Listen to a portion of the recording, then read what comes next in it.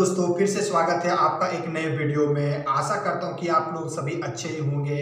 चलिए, आज का मैजिक ट्रिक मैं आपको दिखाता हूँ। पैसे को कैसे गायब कर सकते जी हाँ पैसे को आप कैसे गायब कर सकते हैं, आपको मैं दिखाऊँगा भी और आपको सिखाऊँगा भी। आप वीडियो में बने रहे। चलिए, मैं आपको दिखाता हूँ। आपके घर में सारे ये चीज़ें उपलब्ध होगी। बाज़ार से आपको कुछ भी खरीदने की आवश्यकता नहीं है। जी हाँ फिर सबसे पहले हम लोग एक पेपर लेंगे। पेपर लेने के बाद कॉइन लेंगे। कॉइन के बाद एक डिस्पोजल लेंगे, ठीक है? चलिए मैं आपको दिखाता हूँ इस पॉइंट को कैसे हम लोग गायब करते हैं।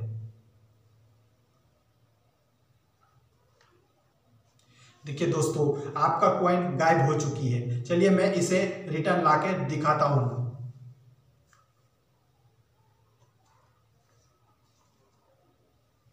देखिए, ये पॉइंट रिटर्न आ चुका है।